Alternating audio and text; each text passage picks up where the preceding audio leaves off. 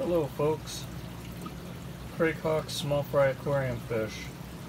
If you're not already a subscriber, I sure would appreciate it if you would be. If you are a subscriber, please hit the bell notification so you can get updates from me if you've already done both of those.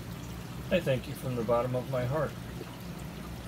What you are looking at right now are my L046s scooting in and out of caves and behind um, cutaways and things like that because I threw in some brine shrimp because I wanted to taunt them out and uh, take pictures of them for you.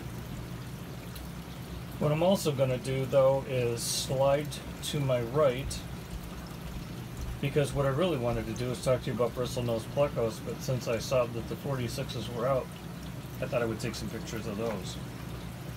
As I slide to the right, the 46s will absolutely disappear. And in this tank, I have albino short. But what's really interesting is the mass of fry that are at the bottom wiggling around on the green beans.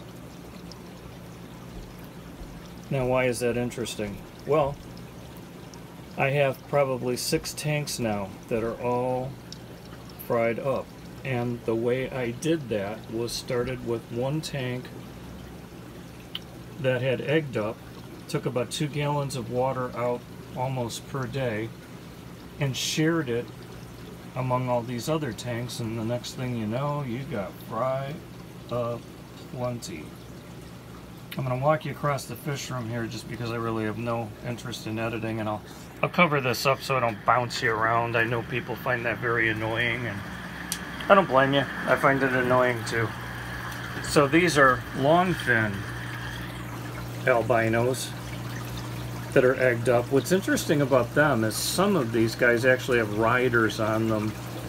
Puts me sort of in mind of uh, discus, even though they're not actually eating the slime layer or anything like that. But um, the bristlenose are actually that friendly. They'll allow that sort of thing to happen. In the cave that you see the snail on right there, there's a male actually with fry in there and it's the second grouping I actually think most of the fry are out of there he's just not smart enough to, to come out. But there is a female that's kind of waiting to romance him there. These are the albino fry. Didn't get a lot of them out of there because I think it was their first hatch. And then the super red long fins are right here. Got quite a few of those guys. And it all started with them. I started stealing water and passing it around. I'm not going to bother you with the other tanks. You kind of know what those look like. Seen them before.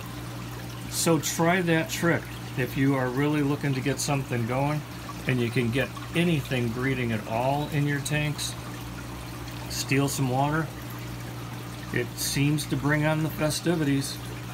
Okay, this is a longer than average video for me. Thanks so much for watching. Take care. Catch you next time. Bye.